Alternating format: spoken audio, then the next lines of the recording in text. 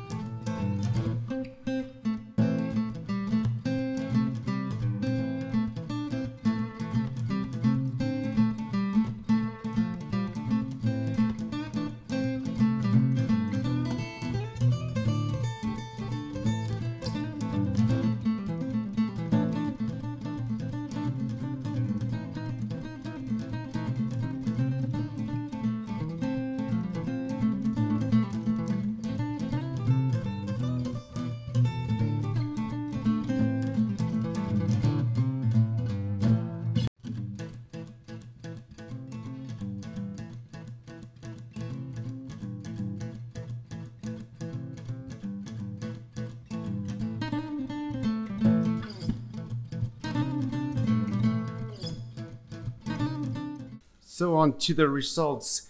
Like I said in the beginning of the video, I'm going to give you guys what I think are the best and the worst Nifty 50s from this vintage lineup. And by all means, these are just my opinions. So you guys let me know down in the comments below what you guys think. But to start off first, what I think is one of the better ones here is the SMC Takumar 50mm f1.4. This lens was performing very well in bokeh and in the sharpness, which is what I consider most important.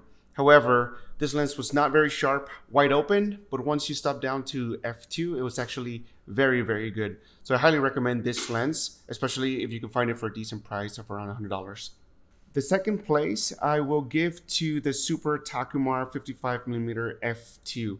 I was actually rooting for this lens since the beginning. This is an awesome lens. I like the 55mm focal range because it's slightly tighter than the 50. So you don't have to be as close to your subject, which is good if you're going to take pictures of people that you don't know. And this lens was overall the best all arounder. Sharpness was great, vignetting and bokeh, it was all very, very nice. I do recommend this lens, so check it out if you can find it. Also fairly cheap. All of these lenses are around $100 by the way. The third lens on the list is what I'm calling my second best all-arounder. And I believe this is the Helios 44-7 50mm f2. Again, this lens was performing well all across. It's not as sharp as the Super Takumar, but it's decently sharp and it has very good contrast. So I definitely recommend this lens if you want to check out a vintage uh, lens for around $60, I believe. Fourth place, I will give it to the Macro Takumar 50mm f4. I know this is kind of a niche lens and it probably shouldn't be even in this lineup because it is a macro, but I can't ignore how sharp it is and how little distortion and vignetting it has. Probably the only thing that I did not like about this lens is that the corners don't get sharp until you really stop down to f11 or f16 but overall it has a very good range in the middle that is very sharp and it also has very good contrast. So i definitely recommend this lens as well.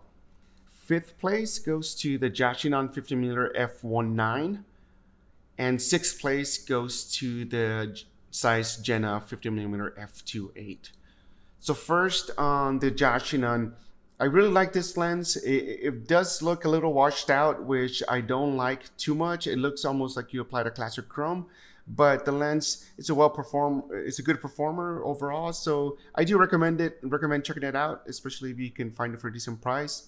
And I was actually disappointed on the sixth place here, the Zeiss Jena. I thought this was going to be one of the better ones. Uh, but it's just not as sharp as the others. Even at 5.6, it's not as sharp as the Yashinon or some of the other ones. However, this lens does have fairly good contrast. So if you don't mind stopping down and uh, and taking advantage of that contrast, then then this lens could still work out for you. So that's it guys. Let me know what you guys think. Let me know if you guys disagree with my results. Again these are my own personal opinion. Uh, bokeh for example can be very subjective to people so you guys let me know which ones you think has the better bokeh the better sharpness. I'll definitely look forward to reading your comments. Thank you guys for watching. I'll talk to you next time. Bye bye